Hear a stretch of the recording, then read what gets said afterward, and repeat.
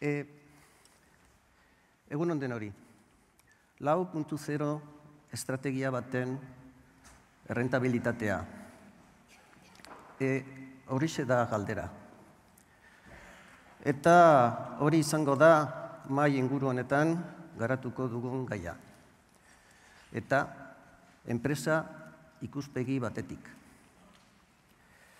Eh, creo que en, que en Euskadi, en este momento ya nadie pone en duda que una estrategia 4.0 nos lleva a, esa especialización necesaria para la sostenibilidad de, de nuestros negocios. Y tampoco nadie pone en duda que es el camino para ser competitivos en este mundo tan sumamente global, en el que bueno, pues la competencia nos puede venir de cualquier parte. Y nadie creo que ponemos en duda que es el siguiente escalón que tenemos que, que subir, tras haber subido anteriormente muchos escalones que también bueno, pues nos parecían escalones de altura grande, como fue la calidad, los costes, el plazo, la mejora continua, la automatización.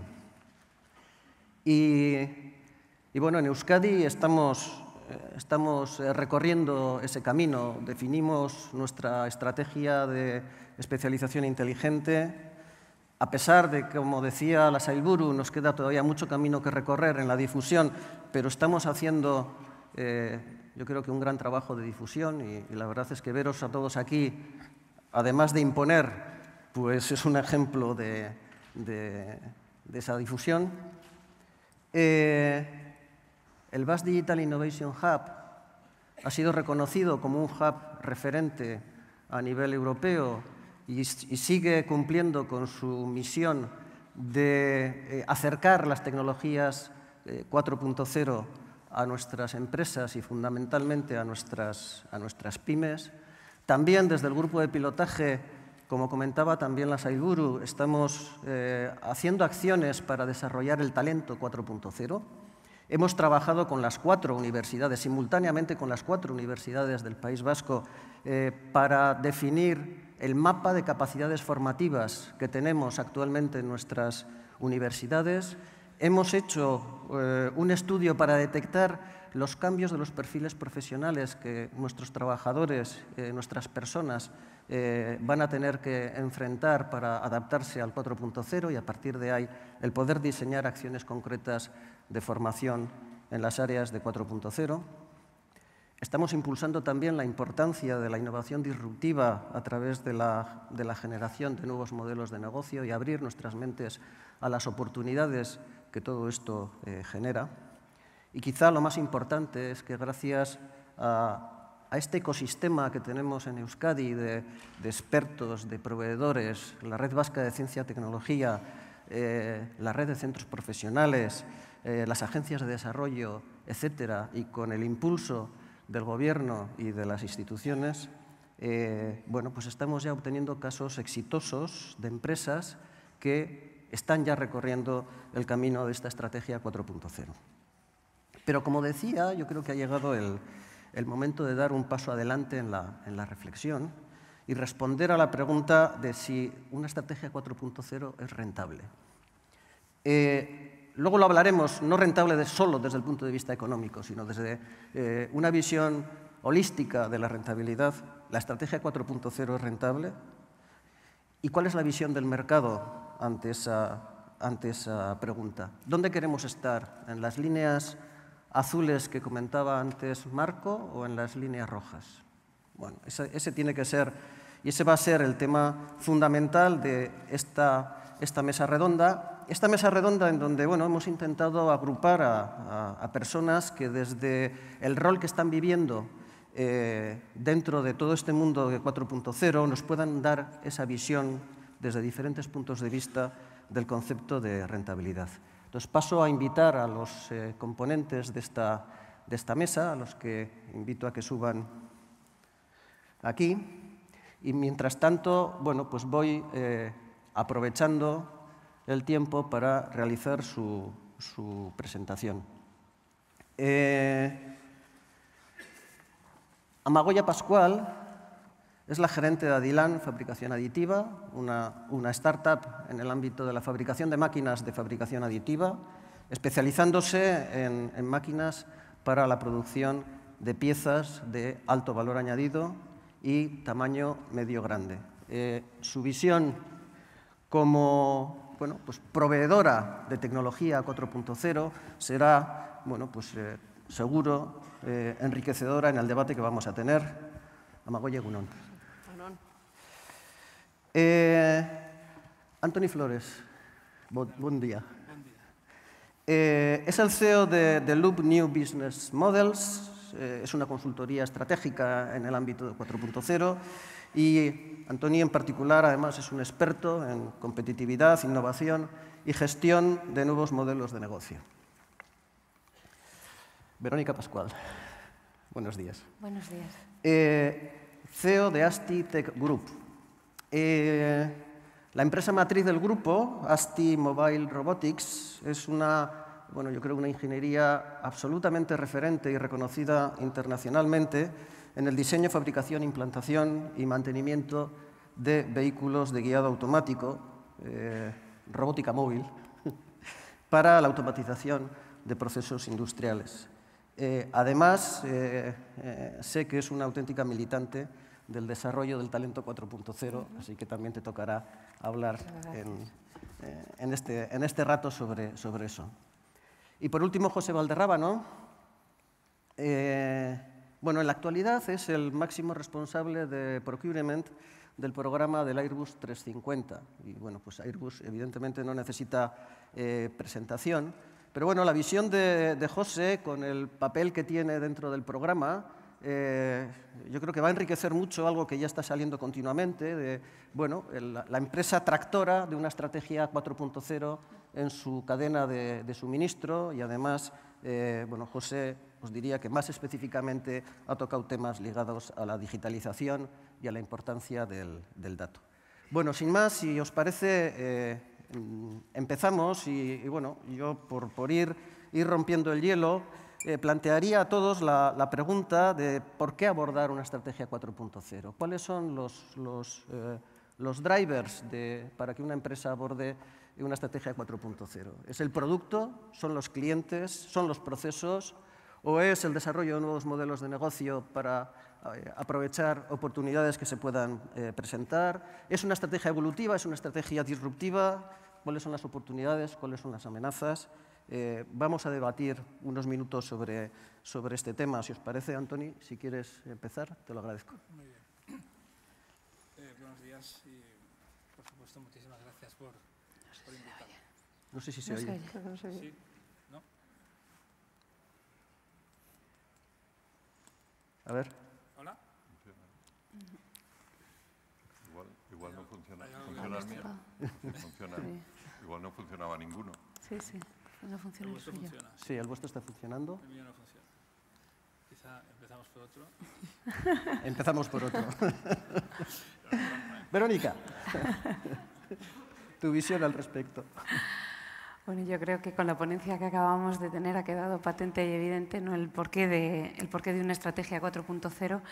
Eh, desde mi perspectiva, eh, o sea, ya llegados a este punto del partido no deberíamos ni plantearnos el por qué, sino el cómo. ¿no? O sea, creo que todo el mundo, desde luego todos los que estamos aquí sentados y, ahora de lo que se trata es de que cada vez muchos más pues tengamos claro el qué, ¿no? el qué de esa estrategia 4.0 y que nos concentremos en cómo llevarla a cabo más que en si hacerla o no hacerla. Eh, Marco ponía un ejemplo que, me ha, que, que, está muy vinculado con otro que yo traía, que es eh, a día de hoy creo que a nadie se le pasaría por la cabeza si tiene que llevar, eh, si tiene que hacer un modelo de venta online o no, o a nadie se le pasaría por la cabeza que dentro de un modelo de venta online tienes que hacer todo un desarrollo de una logística 4.0 que habilite esa venta online. Bueno, pues lo mismo pasa en el mundo industrial. Eh, parece incompatible querer tener un producto customizado y adaptado a tu cliente en el tiempo adecuado y con el nivel apto de competitividad, pero luego, por otro lado, no mirar a la digitalización industrial no solo entendida como la capacidad analítica de datos, sino como todas las tecnologías que permiten esa conectividad de la cadena de suministro y esa adaptación al cliente final. Desde luego, para mí es una, es una disrupción necesaria. Antoni, ahora ya tienes voz. Vamos a ver, sí. Bueno, pues buenos días, como comentábamos. Eh, bueno, eh, yo, yo, creo que, que, que, todo aquello que hacemos en, en, la empresa, todo aquello que hacemos en la industria, lógicamente es para que sea posible monetizarlo y que genere negocio, y que genere negocio con calidad de vida. Y, a mí me parece también muy importante con calidad de vida en los mercados, ¿no? donde no tengamos que sobrevender mucho aquello que hacemos y que de algún modo eh, él funcione por sí solo. Por tanto, estamos hablando de un concepto de valor. ¿eh? Eh, el valor, desde mi punto de vista, se consigue con tres factores, el producto, el servicio y el consumible. Cada vez es más difícil disociarlo. Eh, vivimos en un mundo transversal, industrial, trans, eh, transversal en, en, la sociedad y, por tanto, producto, servicio, consumible es la máxima expresión del valor. Por las tres cosas lo generamos, quizá por una sola de ellas lo facturamos. Eh, ¿Qué lo une? Bueno, pues lo unen dos cosas que hoy en día lo, lo unen dos cosas que, que, hoy han salido bastante, que es la digitalización en el sentido amplio y, y, y los datos, ¿eh? la cadena de datos, que nos permite crear un círculo virtuoso donde estamos pasando cada vez más de hacer productos singulares a mantener un pulso constante con el mercado de esos, de esos productos y de esos servicios. Por tanto, para mí ese es, digamos, el auténtico valor de lo que estamos hablando hoy es permitir esa trilogía producto, servicio, consumible. Otro aspecto muy importante es qué pasa si no lo hacemos. ¿no? Eh, en este aspecto, eh, la industria 4.0 convierte al mundo, si me permiten, en todavía más pequeño. ¿eh? Y quizás este es un dato que no se está enfatizando lo suficiente. Eh, una buena estructura de servicios y de industria 4.0 como proveedores de la industria nos, nos, da una posición única y, y, cada vez es más difícil des, desbancarnos. ¿eh? Por tanto, en, el, en, este, en, ese mundo de proveedores y, y, clientes, y clientes y proveedores que cada vez está más unido, eh, digamos, solo hay espacio para uno con una buena estrategia 4.0. ¿eh? Y para mí este es un aspecto muy importante solo hay espacio para uno. Eh, y además, yo espero que ese uno sea industrial, porque el, el gran peligro es de que ese uno sea un intermediario, eh, como, como, hemos visto en, en, otras industrias como la hotelería o como el transporte. Por tanto, desde mi punto de vista, eh, es una cuestión de, como comentabas, no ya de conciencia, sino de cómo hacerlo. El cómo, como todo, es mucho más pragmático y además no es de grandes historias, es de pasos pequeños que nos van a llevar muy lejos. Y eh, yo creo que nos va en ello la, calidad de vida de nuestra industria y la calidad de vida y, la supervivencia de esta industria. Y para acabar, me gustaría matizar que esto eh, eh, conlleva algo que yo siempre reivindico, que es una, un mayor conocimiento del producto y del servicio por, parte de los consejeros delegados. ¿eh? Yo siempre digo que todo el mundo se ha leído la biografía de Steve Jobs, pero muy poca gente conoce el producto como lo conocía Steve Jobs en su empresa. Eh, el carrier de todo esto es el modelo de negocio, por supuesto, pero es el conocimiento en los estadios más altos de las compañías sobre el producto y sobre el servicio que comercializamos lo que nos va a permitir entenderlo y, por tanto, aplicarlo. Gracias, Magoya. Eh, bueno, la principal motivación yo creo que por apostar por, la, por una estrategia 4.0 es porque el mercado nos lo está pidiendo. ¿no? Yo creo que es importante eh, eh, tener en cuenta eh, el marco de, negocio en el que, en el que se, juega la competitividad la industria estos días. A la industria se le pide personalización del producto, se le pide ciclos más cortos, coste de, análisis, ciclo de vida. Y ante eso, la industria lo que pide a las, a las empresas proveedoras de soluciones eh, 4.0, pues herramientas que le, que le, que le den eh, flexibilidad, eh, monitorización, eh, incorporación de inteligencia en, en, máquina, fabricación aditiva. Entonces, esa es la, es, ese es el campo, el, el, el nuevo cambio que se está generando en la industria entonces, en, este, en, estos nuevos modelos de negocio que se están creando, en estos cambios que se están generando en la, en la cadena de valor, pues surgen nuevas oportunidades de negocio.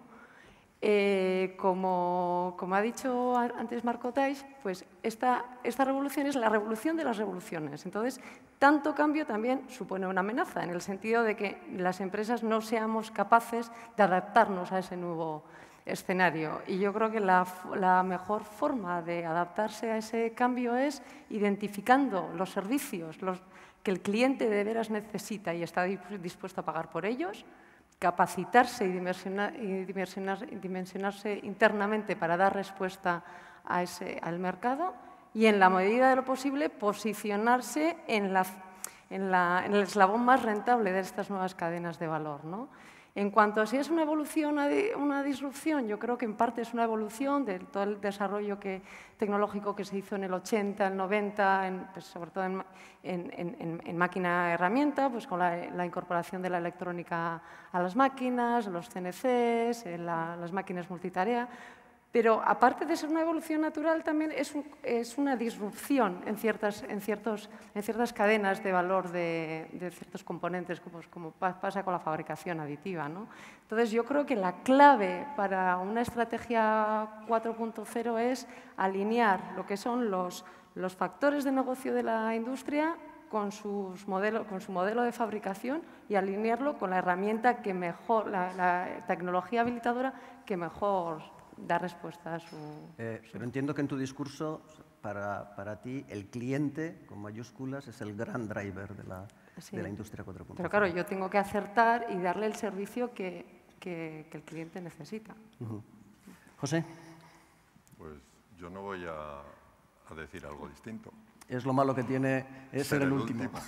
Pero además tenéis razón, ya lo ha dicho un poco Marco, lo ha dicho Magoya para nosotros, ¿cuál es el driver de una empresa? Eh, yo hablo desde una empresa la, que conozco hoy en día, que es una empresa como Airbus, es el, al final dar un buen servicio al cliente, que tengamos unos costes de fabricación reducidos, con una calidad mejorada, porque la calidad tiene que ser impecable, sobre todo si hablamos de este tipo de productos en que la seguridad es lo más importante, por lo tanto la calidad es fundamental y aplicarlo esto, como, decíamos antes, a toda la, el end-to-end product, ¿eh? el producto desde que lo diseñas hasta que ya se termina la vida del avión, ¿eh? después de 25 años en servicio y luego a lo mejor más allá. Pues esto, la industria 4.0, en este tipo de industria como es, como es Airbus, indudablemente entra, tiene que entrar y entra por, segmentos. Indudablemente no puedes crear una industria nueva porque ya las fábricas existen, los procesos existen.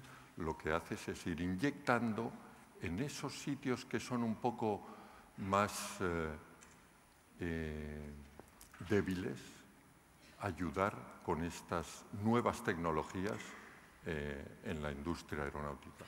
Bueno, me podría extender con muchísimos e- ejemplos, pero ya le he prometido a Manu que no me iba a extender ni a sobrepasar. Entonces yo creo que hay como título general, y eh, estoy de acuerdo con vosotros, al final es el cliente en términos de coste, porque el cliente quiere comprar algo más barato, con una calidad impecable y una flexibilidad que esté a, a su acceso. Flexibilidad, ¿qué significa la flexibilidad para nosotros? Que cada cliente de ese avión, eh, gracias a Dios, no tenemos 40.000 configuraciones diferentes como el coche de, Marco, pero tenemos eh, clientes suficientes para, distinguir eh, esos aviones, hacerlos diferentes de un cliente a otro, que puedan, que puedan ser su bandera. Eso, dar esa flexibilidad a esos clientes y dársela prácticamente total y en el tiempo que quieran. Evidentemente, en un proceso industrial tan pesado, y digamos en ese sentido, como es la, aeronáutica, eh, no puedes llegar el último día y decir, no, ya no me gustan estos galeys o estos eh, baños, me los cambias. ¿no? Entonces, todo eso hay que, hay que adaptarlo y la industria 4.0 va a ayudar muchísimo en esto. Está ayudando, de hecho. Eh, te pongo ahora el primero en la siguiente pregunta. Por cuestión de tiempo, eh, nos centramos ya, en, yo os diría, en el, tema fundamental del diálogo, que es eh, la rentabilidad de una estrategia 4.0. Y, me gustaría insistir en, eso, en una, visión de la rentabilidad eh, poliédrica, no solamente una rentabilidad desde el punto de vista económico, sino también rentabilidad yo diría, desde todo el abanico de cuestiones que se abren en una empresa cuando tiene que abordar una estrategia eh, disruptiva como es eh, la que estamos hablando. Eh, ¿Cuál es tu visión? visión importante, José, porque representas en, este diálogo representas a, la parte, por decirlo de alguna manera, cliente, usuaria, a la vez tractora. ¿Cuál es, tu, cuál es tu visión general al respecto? O sea, para Airbus el afrontar una estrategia 4.0 eh, es una estrategia rentable. Es una estrategia muy rentable. De hecho, Airbus ha creado una organización que se llama Digital Transformation, por la cual se prueban y entran todas esas eh, empresas, startups con nuevas tecnologías para ver dónde se puede aplicar en todo este end-to-end proceso de, fabricación y vida, y vida de, un avión como, como es en, mi caso. O sea que es, es, fundamental. Luego hay una cosa que me ha llamado la atención de Marco, que es también, eh, lo, hace, lo hace Airbus también, en paralelo ha creado lo que es la Airbus Academy, para no olvidar esas personas, para fomentar esas nuevas skills, ¿eh? destrezas y capacidades de esa, de esa gente, para que sean los utilizadores de, todo eso. Luego, quería transmitir un mensaje muy importante. Todo esto, Airbus lo va haciendo poco a poco, pero Airbus tira mucho. Pero, ¿qué pasa? Necesita esas empresas pequeñas, esas startups, para que, para que continúen y sean, y, sean y trabajen al mismo tiempo y lleven a Airbus a ese ese desarrollo final tan, tan, tan beneficioso que puede ser la industria 4.0. Airbus solo, Airbus es una línea de montaje final. Compra, para un avión como el 350, compra, un 80%. O sea, un 80% lo fabricáis, potencialmente lo fabrican todos, empresas, incluidas empresas vascas. Entonces, tiene que venir también de estas empresas, de vuestras empresas, esa, tecnología. Es importante el soporte, el soporte económico. Airbus ayuda también en, en, ese tema. Cuando le interesa algo, ayuda, porque cuando llegas a la organización de Digital Transformation, si les interesa algo, si les interesa algo Airbus, económicamente ayuda, pero también, indudablemente, tienen que ser los gobiernos. Eh, países locales eh, que, ayuden. Y esto es, fundamental. Gracias, José. Eh, Antonio, tú eres un experto en posicionamiento, has trabajado mucho en temas de posicionamiento en, empresas. ¿Qué rol tiene una estrategia 4.0 desde el punto de vista de posicionamiento? Bueno, yo creo y enlazándolo un poco con, la anterior pregunta sobre la rentabilidad, yo creo que el principal rol para mí no es tanto em, la eficiencia, que lo es, como la posibilidad de generar nuevos ingresos. Em, por tanto, para mí lo más relevante es eh, em, que la industria 4.0 eh, permite, eh, con la misma operación, generar nuevos ingresos. Nosotros, en nuestro abanico de clientes, calculamos entre un 10 y un 25-30% sobre el flujo de, negocio que están haciendo. Permite, lo he dicho antes también, fidelizar mucho más la cadena cliente-proveedor, eh, convirtiéndolo en, alguien mucho más estratégico, mucho más difícil de sustituir, donde la visión del negocio es una visión mucho más holística.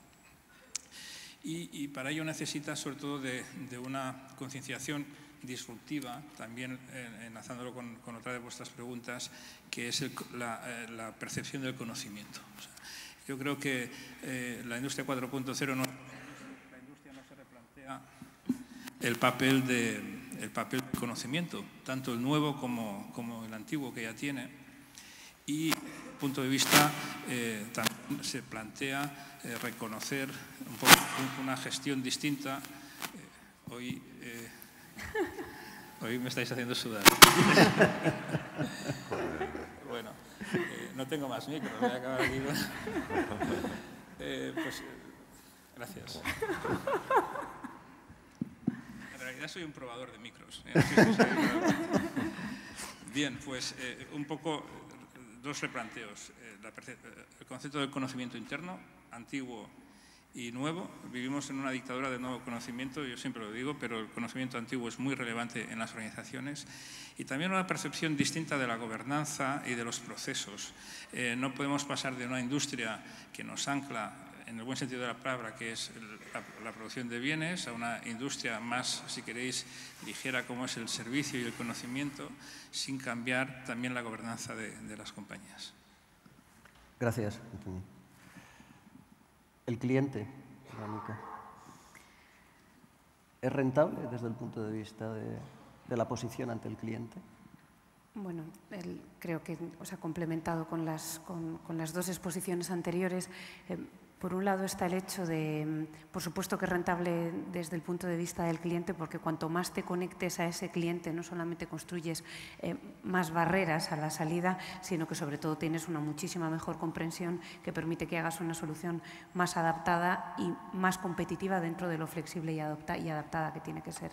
Eh, yo, eh, quisiera comentar, nosotros, por ejemplo, organizamos nuestra estrategia en cinco viajes, ¿no? el, cliente, la tecnología, el talento, la, excelencia operativa y el ecosistema. Y en el ámbito del cliente, em, pues hay dos temas que además ligan o cosen muy bien con las, con las dos exposiciones anteriores, que es cómo nuestros clientes están visualizando su estrategia futuro, cómo ellos, nosotros somos B2B, entonces, cómo ellos conectan con su cliente final, cómo tienen que hacer un proceso eh, industrial, pues, pues mucho más... Em, streamline, ¿no? más adaptado y más conectado y más en, en tiempo real manteniendo competitividad. Y claro, por eso es muy importante que la estrategia de Industria 4.0 no se perciba como una estrategia tecnológica separada, sino que esto imbrica absolutamente todo el despliegue estratégico que tiene, que tiene nuestro cliente. Y, y ahí es donde vemos la diferencia entre los grandes grupos industriales que tienen bastante claro dónde quieren estar a cinco años vista o a diez años vista y cómo están trabajando hoy para llegar allí, porque lo que está claro es que en cinco años no estaremos donde queremos estar si hoy no estamos poniendo los medios para ello. Entonces, vemos cómo hay clientes que están haciendo unos despliegues fenomenales en nuestro ámbito, por ejemplo, de robótica móvil para tener todos los procesos interconectados y automatizados al servicio de la música digital de su planta, ¿no? de todos los sistemas informáticos de la planta, y lo están haciendo pensando en una industria mucho más fluida, que hoy todavía eh, está en, en, una versión más evolutiva, pero que llegará a ser lo que tiene que ser si hoy estamos tomando esas decisiones. Y, ya con esto acabo. Em, eh, y ligado al tema de la academia y del talento, aunque luego podamos a lo mejor abordar con un poco más de detenimiento, una de las observaciones que vemos es, aun el cliente que ya tiene claro que esta estrategia es rentable, lo que está descubriendo efectivamente es que esta estrategia no va de tecnología, sino que va de talento, porque son, es la velocidad de adopción tecnológica que marca el talento que conforma parte de nuestros clientes, la que, la que está marcando el pace, ¿no? el ritmo al que, al que despliegan su estrategia. Esta frase de Peter Drucker, ¿no? que la, que la, mm la cultura se merienda la estrategia, bueno, pues esto es algo que nosotros nos estamos encontrando cada vez en, cada vez en más clientes. O sea, el, hecho de, tengo claro que esto es rentable, pero tengo claro que tengo una revolución cultural, lo hablábamos también antes en la primera exposición, una revolución cultural que llevar a cabo si quiero que esto realmente sea rentable y que llegue a tiempo. La relación con el cliente cambia de manera radical. Eh, el cliente se deja compartir los datos para que una empresa como la tuya enriquezca su su producto y su servicio, incluso para beneficiar a la competencia? Pues mira, nosotros tenemos experiencias muy, muy dispares. En Estados Unidos están cada vez más abiertos a, compartir el dato. No todos nuestros vehículos son vehículos conectados. O sea, nosotros no tenemos el, el, challenge de un IoT que vaya en un peine, sino que tenemos un vehículo que tiene un ordenador de a bordo, que tiene un montón de información que maneja a lo largo de su trayecto. Entonces, debidamente gestionada eh, genera un valor fundamental a nuestro cliente. En Estados Unidos nos encontramos con clientes mucho más abiertos a que nuestros vehículos sean conectados, siempre por supuesto debidamente con la seguridad adecuada en la conectividad. Sin embargo, nuestro cliente industrial europeo, por norma general, pone muchas más pegas a esa conectividad. Sin embargo, por otro lado, está conectado por otro montón de apps y dispositivos, pero a lo mejor no es ni tan siquiera tan consciente de ello. Pero que la maquinaria industrial que afecta fundamentalmente al proceso productivo esté conectada, más allá de conexiones puntuales para temas de mantenimiento remoto, por supuesto, pero estoy hablando de, conexión permanente para estar haciendo esa aglomeración de datos que permita generar algoritmia diferencial, predictiva y otros. Esto para nosotros todavía está suponiendo, hay, que hacer aún más cambio de cultura que el previo. Interesante, no te vas a escapar de hablar del talento. Amagoya. Em, estrategia 4.0 es la confluencia de, diversos eh, elementos clave. Uno de ellos, evidentemente, es la, es la tecnología. Eh, supone la incorporación de nuevas tecnologías en, en las empresas y eso pues evidentemente eh, provoca un impacto. ¿Cuál es tu experiencia?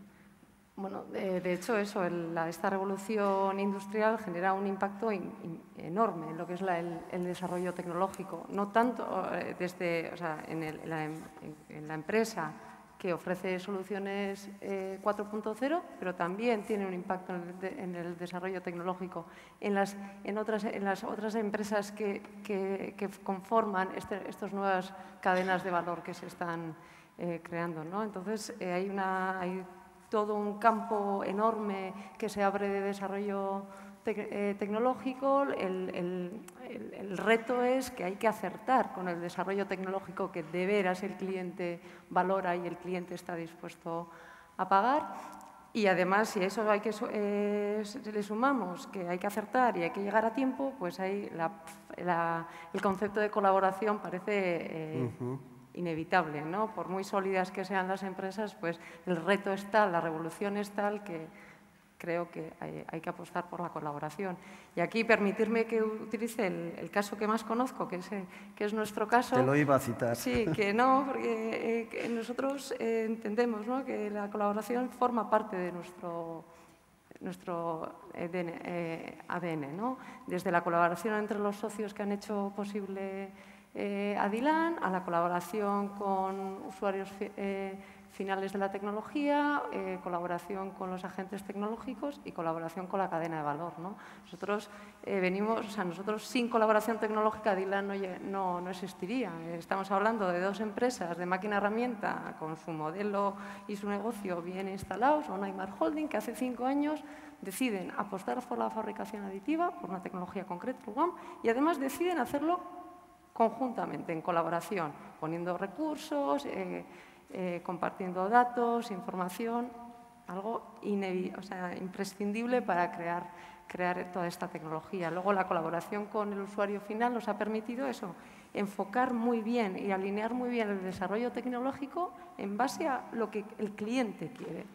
La, claro, si estamos hablando de desarrollar nuevas tecnologías en sectores tan exigentes como el aeronáutico, naval, ferrocarril, pues eh, claro, el reto es imprescindible. Entonces, por eso nos hemos apoyado en la, en la Red Vasca de Ciencia y Tecnología, hemos eh, trabajado con muchos centros y tenemos un acuerdo con Tecnalia con el objetivo de acelerar la llegada a este mercado.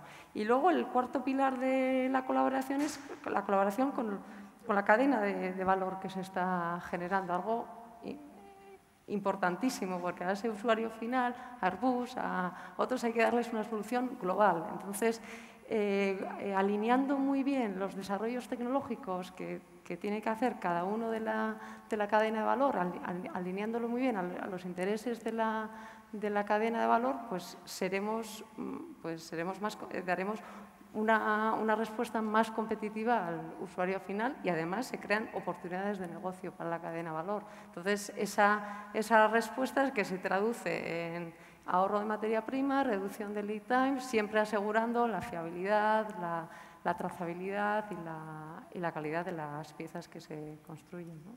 O sea que yo la- apostaría por la colaboración sí o sí. ¿Y la colaboración no es imposible? No es imposible, da cierto miedo, así que yo animaría a apartar ciertos miedos y porque hay muchísimas, muchísimas oportunidades, eh, escenarios win-to-win y yo creo que hay que Y factor clave de la rentabilidad Sí. de una estrategia 4.0. Verónica, talento 4.0. Ese tema da, da- hay mucho de lo que hablar, ¿no? Nosotros, em, hablando precisamente de esos tiempos de adopción tecnológicos que tiene la, la industria en clave de tecnología, pues hicimos todo un análisis de, por un lado, o sea, vamos a, en lugar de, de hablar a nuestros clientes solo de robótica móvil o de tecnología o de conectividad de esa robótica móvil, pues vamos a hacer un parón y vamos a hablar de talento y de cómo podemos ayudar a ese desarrollo del talento para que luego esa tecnología fuera más fácil de implementarse y para que... O sea, a mí hay una frase que me gusta mucho eh, y creo que todos la habremos vivido. Ya no hablemos de tecnologías así como muy futuristas, sino muy presentes, ¿no? como puede ser implantar un ERP en cualquier compañía, que es el mejor ejemplo de convertir al capaz en incapaz. Eh, porque durante un tiempo, pues lo que sabía hacer en su Excelita o en el ERP previo, pues no sabe resolverlo. ¿no? Y, y entonces, pues cualquier desarrollo tecnológico conlleva eh, pues algo que va muy intrínseco al ser humano, que es el, pues cómo gestiono ese cambio y cómo gestiono esa transición de ser incapaz durante un tiempo hasta que vuelva a ser capaz y con una generación de valor diferencial. Y por eso, o sea, haciendo ese análisis, primero mirándonos en el espejo de nuestros clientes y luego mirándonos en el espejo de nuestra propia compañía, nos dimos cuenta que teníamos que hacer una estrategia absolutamente paralela, o sea, paralela al abrigo de la misma catedral. Soy de Burgos y hablamos mucho de catedrales, pero, em, pero eh, totalmente paralela en clave de talento. ¿Y esto qué significa para nosotros? Pues ha significado eh, efectivamente desarrollar una academia desde la que desarrollamos pues, muchísima formación, em, o sea, generamos grandes grupos, tanto de formación profesional dual, de eh, ingeniería dual, eh, hacemos acompañamiento desde segundo de carrera ingenieros hasta su salida. Bueno, tenemos una Alianzas College con un montón de universidades en Estados Unidos, en Europa y en España y también estamos desarrollando un montón de temas relacionados con el servicio opuesto, ¿no? que es ya no solo cómo incorporar nosotros el talento, eso es muy cortoplacista, sino cómo ayudar al talento que va a necesitar eh, la sociedad. Y, y, bueno, aquí hay un montón de temas. También, por supuesto, tenemos nuestro ASTI Skills, que es nuestro propio programa para desarrollar el talento que está dentro de la compañía. Pero aún haciendo todo eso, nos dimos cuenta que no era suficiente y que, y que era demasiado cortoplacista estar peleándonos unos por otros por el bien más escaso que hay en el mercado, que es el talento, y que lo que teníamos que hacer era darle la vuelta a la tortilla y por fin unirnos para que haya más peces en el mar. Y entonces, más peces en el mar, dicho con todo respeto, pero para que ese mar sea lo más rico posible. Y entonces, em, por eso hemos desarrollado un montón de temas de talento, hemos creado una fundación que es súper colaborativa, también somos firmes creyentes de la colaboración público-privada y privada-privada, o sea, para hacer eh, un, todo un ecosistema que va a niños desde los cuatro años, eh, con, hay programas específicos de género para la mujer, que somos la gran desaparecida en la era digital y si no cambiamos algo de raíz lo seguiremos siendo por muchos años, eh, y otros pues, muy específicos ya de, de robótica en general, ¿no? en cuanto a movilidad inteligente. Y, y lo que estamos haciendo por ahí es intentar, pues, con la mayor humildad posible, pero que, que cambiemos desde la educación, porque todo lo que estamos hablando se queda en agua de borrajas si no tenemos a las personas adecuadas en nuestras empresas en cinco años vista. O sea, o en tres, o en dos, o en uno, y ya, y ya estamos en esa situación. No me creo que ninguno de nosotros no estemos teniendo problemas a la hora de captar el mejor talento. Bueno, para eso se crean las academias. Yo estoy, eh, estoy gratamente impresionado. Yo, mi oficina eh, está en, una, en la Final Assembly Line del 350, entonces tengo una oficina inmensa, es una fábrica eh, de aviones. A mí me encanta ver la cantidad de blue collars hoy, la cantidad de mujeres y chicas jóvenes. Una cosa impensable, decía Marco, que es una cosa de hombres, que era una cosa de hombres. Hoy en día la cantidad de chicas. Yo creo que eso viene dado por esa tecnología nueva. Los ves con las, los- las gafas eh, de tres dimensiones, los ves con su- las ves con sus iPad, eh, viendo las posiciones de las piezas, manejando todo, teniendo toda la información de todas esas piezas y dónde van a ir colocadas. O sea, me impresiona. Y lo que tú decías, en, nuestro sector, por lo menos ahí, estoy muy agradablemente sorprendido de ver la cantidad de chicas que, vienen. Probablemente, en nuestro caso, lo tengo que, decir así, porque yo soy un enamorado de los aviones, del producto, probablemente sea eso. Eh, yo creo que es, maravilloso, o sea, llegas a trabajar en una, en una de las dos únicas grandes fábricas de asamblar grandes aviones como son nuestro competidor y, Toulouse, trabajar ahí es, un sueño para gente que le guste el producto, para la gente que le guste la tecnología. Indudablemente eso es, muy atractivo. Eh, nos come el tiempo, como siempre pasa en, estas, en estas cosas, eh, pero yo no puedo eh, que brevemente hablar de la cuenta de resultados. de la cuenta de resultados. una estrategia 4.0 es una estrategia de corto plazo, es una estrategia de largo plazo. Bueno, la pregunta es muy retórica, evidentemente, pero yo sí, quiero saber vuestra, vuestra opinión.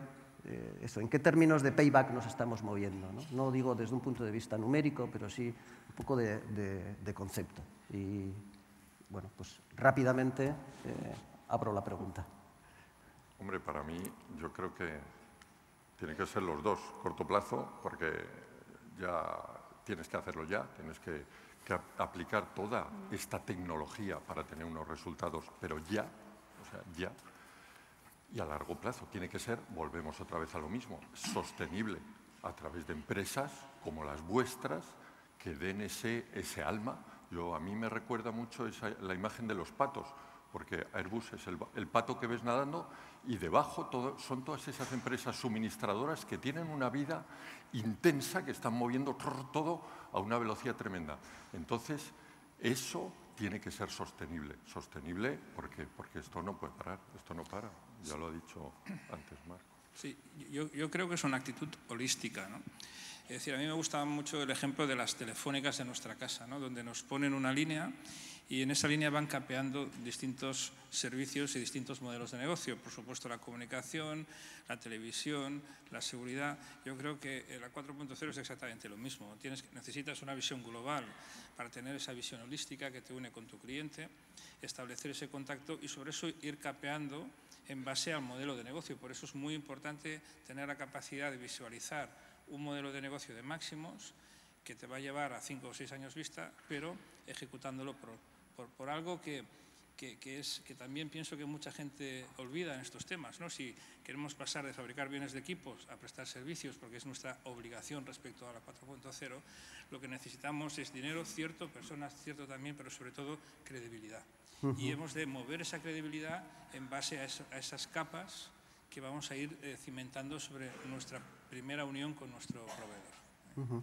Amagoya. Pues, eh, yo creo, o sea, desde un punto de vista de proveedor de tecnología 4.0, pues voy, a hacer algo, voy a decir algo muy obvio, ¿eh? pero en la medida que somos capaces de identificar aquel servicio, tecnología, producto que el cliente valore y que esté dispuesto a, pagar, en la medida que seamos capaces de capacitarnos internamente para dar esa respuesta, pues nuestra cuenta de resultados eh, lo agradecerá.